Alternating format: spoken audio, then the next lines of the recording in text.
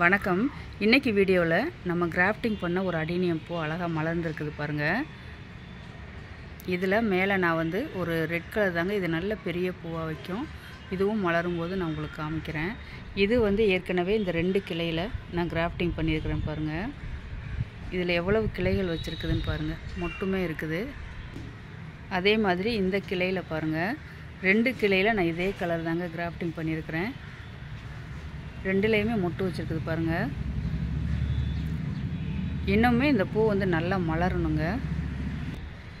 அதுக்கு பக்கத்தில் பாருங்கள் இந்த கிளையில் வந்து ஒரு பிங்க் தான் பியூர் பிங்க்கு ரொம்பவே அழகாக இருக்கும் இதுவுமே இதுவுமே பூக்கள் வைக்கும்போது நான் கண்டிப்பாக உங்களுக்கு காமிக்கிறேன்.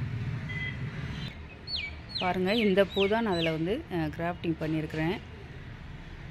இது எந்த அளவுக்கு மலர்ந்து நல்லா இருக்குதுன்னு பாருங்கள் இந்த கிளையில் கூட நான் வந்து வேறு ஒரு கலர் கிராஃப்டிங் பண்ணேங்க. ஆனால் வரலை.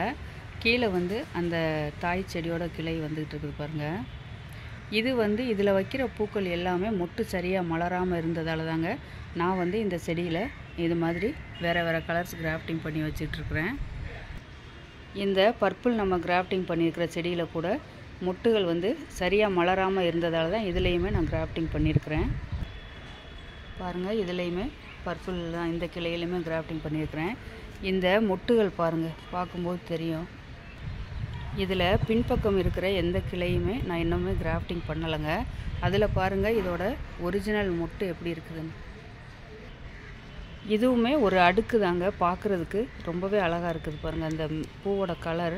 இதில் வந்து எப்படியாவது நல்லபடியாக பூக்கள் வைக்கும் அப்படின்னு பார்க்குறேன். ஆனால் வைக்கிறதில்ல. இது மாதிரி தான் மொட்டு ஒவ்வொரு முறையுமே சரியாக வராமல் வெடிச்சிடுது. பாருங்கள் இந்த கிளைகள் முழுக்க வந்து இது மாதிரி தான் இருக்குது. இதையுமே நான் வந்து கட் பண்ணிவிட்டு இந்த கிளைகள்லுமே வேறு ஏதாவது கலர்ஸ் வந்து கிராஃப்டிங் பண்ணி வைக்கலான்ட்டு இருக்கிறேன். நீங்களுமே இது மாதிரி அடினியம் செடிகளில் நிறைய நாள் வந்து மொட்டுகள் வச்சு பார்த்துட்டு அது சரியாக மலரலை அப்படின்னா அதில் இது மாதிரி நீங்கள் கிராஃப்டிங் செஞ்சு வச்சுக்கலாம்.